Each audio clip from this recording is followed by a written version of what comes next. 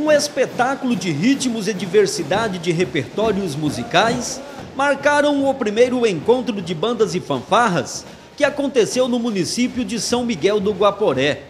Segundo o organizador do evento, a ideia surgiu com a intenção de proporcionar aos participantes a integração da cultura entre os municípios. Surgiu desde quando eu vim para cá no contrato de 7 de setembro, aí assumi a fanfarra aqui, né? Daí a fanfarra era só tipo de cadência, eu quis mudar, nunca teve um encontro aqui, né, do pessoal do Vale. Daí veio a ideia, sempre participei com outros fanfarra, era instrutor em Alvorada também. Aí sempre participar de encontro, daí veio a ideia de fazer o primeiro encontro em São Miguel aqui. Aí contando com o apoio do prefeito, alguns comércios local, secretaria da SEDUC, o secretário de Cultura, Esporte e Cultura e o diretor de Cultura. A gente foi resgatando, né, para resgatar essa cultura de fanfarra que está muito esquecida e fazer esse encontro, porque a fanfarra está um pouco esquecida nessa cultura, né? O organizador espera que o evento passe a fazer parte do calendário festivo do município. Espero que sim, até na festa da cidade a gente vai estar tá preparando algumas apresentações de outras fanfarras. E ano que vem, se Deus quiser, vamos fazer o primeiro campeonato festival estadual aqui em São Miguel. E contamos com o apoio de toda a população né, e os comércios locais e a prefeitura. Com a participação de 11 bandas e fanfarras, as arquibancadas da quadra municipal Maristela Massucato ficou pequena para tanta gente. Com a participação de 520 integrantes de bandas e fanfarras de diversos municípios, São Miguel do Guaporé sediou um espetáculo de apresentações para o público presente. Elegantemente uniformizados, centenas de integrantes entre bandas e fanfarras demonstraram para o secretário de Esportes e Cultura a importância do evento.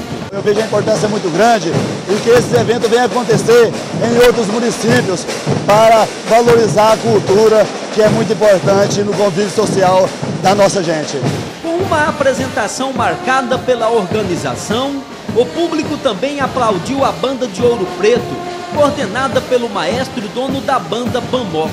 Esse é um trabalho que é um trabalho cultural que envolve o jovem a se entregar no meio social, tanto na, na cultura musical como na cultura social. É um trabalho desenvolvido com muito árduo, com muita dedicação de cada aluno. Alunos de bandas e fanfarras de municípios participantes disseram o que representou o encontro. Ah, para mim é muito importante, né, para se unir, muitas, muitos, muitos participantes diferentes, se conhecer melhor. É por isso nós viemos aqui, né? Longe também. É muito bom sim desse, esse evento assim para nós tocar melhor. Né? Representa, representa, tudo, né? Porque eu não gostava de fanfarras e nem nada de toque de bandas. Mas depois, a partir do momento que eu passei a ser porta-bandeira da Torra Brasilândia, comecei a gostar muito do som da, da fanfarra. É importante para a nossa cultura do estado de Rondônia, que encontro de quase toda a cidade do estado, se unindo